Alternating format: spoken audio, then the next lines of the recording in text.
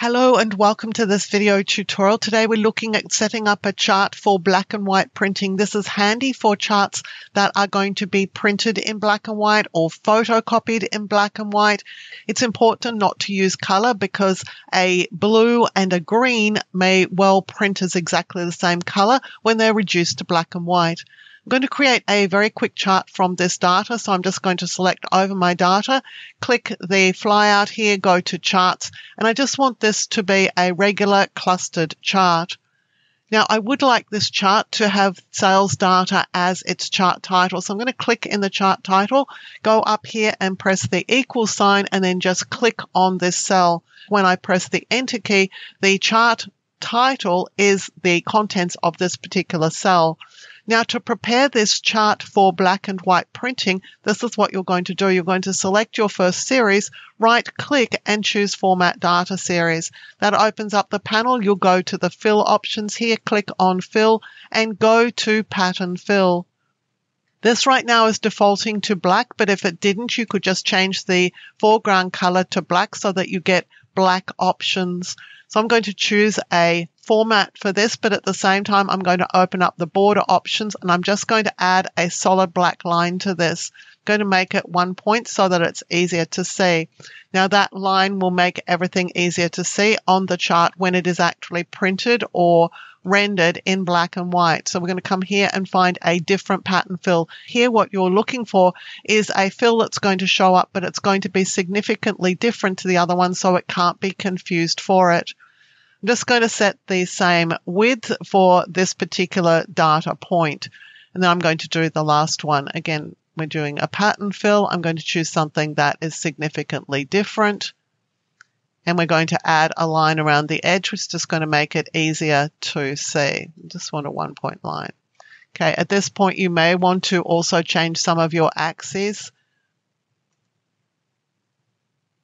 So I'm going to add a solid one point line for my axis as well. So you can see that my chart is now a little bit easier to read than it was previously. It's going to print really well in black and white. It's going to be very clear as to what each of these data series represents.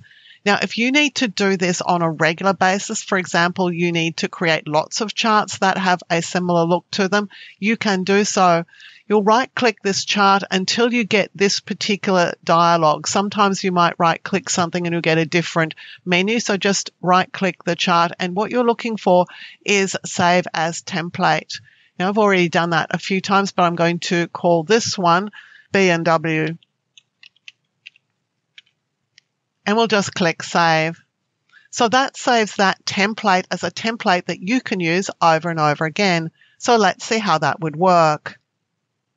So here I have a set of data that I want to chart and I want to prepare it for black and white printing. So I'm going to select over the area of the data that I actually want to chart. I'm not charting totals. I'm going to select quick analysis. I'm going to charts and I'm going to click here on more because this opens up the dialog. When I go to all charts, there's an option for templates. And here in the top corner is the B&W chart type that I just created. I'm going to click here and click OK. And this is my chart. Now, all I need to do is to fix up the chart title. In this case, I want to use cell A2. So I'm just going to click here, press the equal sign, click in cell A2 that has the contents and click enter on the keyboard. And this chart is already formatted and ready to go. Using chart templates for charts like these black and white setups makes good sense because you don't have to go to all the work of setting everything up. It's already going to be set up for you.